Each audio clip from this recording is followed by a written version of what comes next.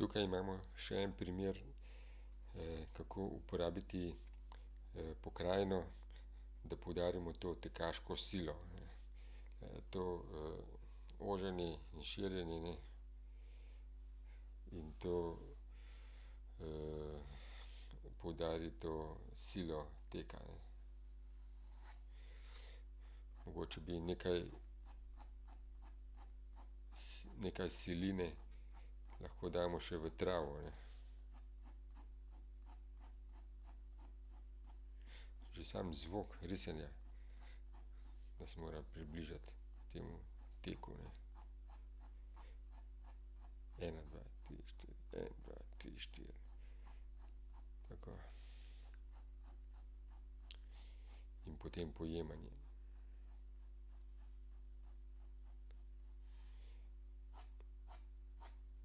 Spet.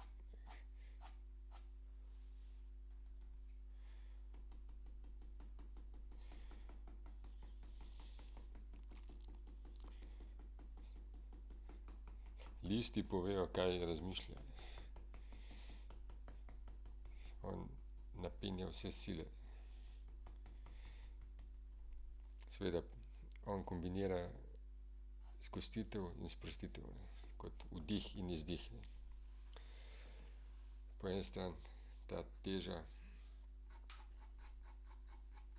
telesa in tal, to ponavljanje gibov. In po drugi strani ta lahkotnost oblakov.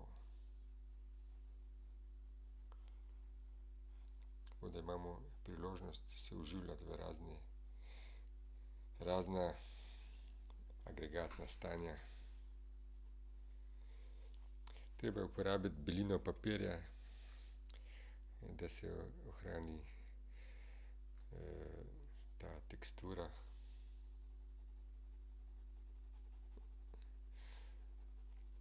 S tem, ko se grafit drgne ob papir, se riše tekstura vodnih kapljic. Morda on, ne vemo, kaj se pravzaprav dogaja na tej risbi, ne, mogoče teče pred, bližajočo se nevihto. Čeprav tole ne izgledajo ravno nevihtni oblaki. Najbolj verjetno pa je, da samo trenira za prihodnji maraton.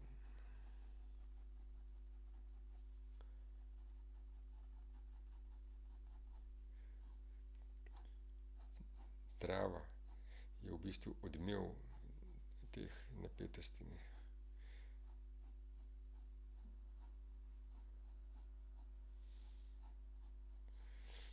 Imamo ključ, tok, mislim ustavitev, tok, ne. In, kar je tudi, vidno na prvi pogled, ne. Risba predstavlja tekača, obenem pa to stoji, ne, risba ne gre nikamor, ne. Se pravi, ta paradoks gibanja, ta pokrajina telesa in realna pokrajina.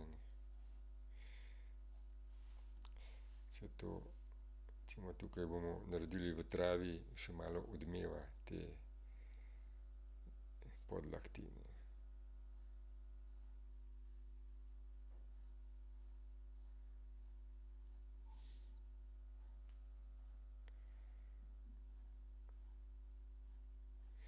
Ni nujno, da gledalec to sploh opazi, ne. Ampak tukaj gre za proces risanja, ki je važen.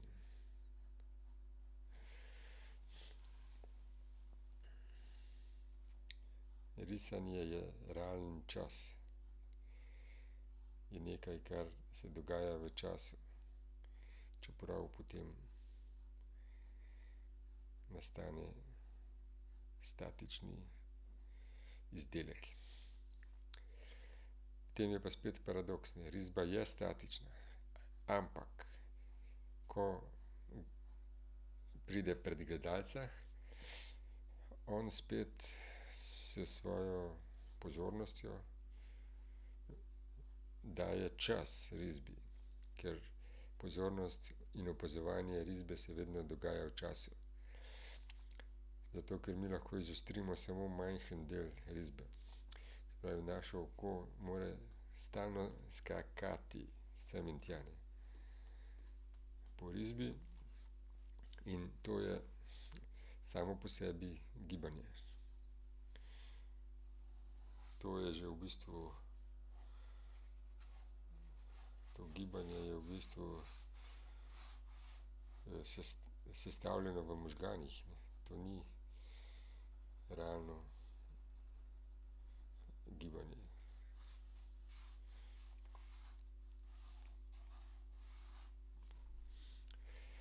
No, mislim, da je dovolj povedanega o tej risbi. Želim vam prijetno gledanje.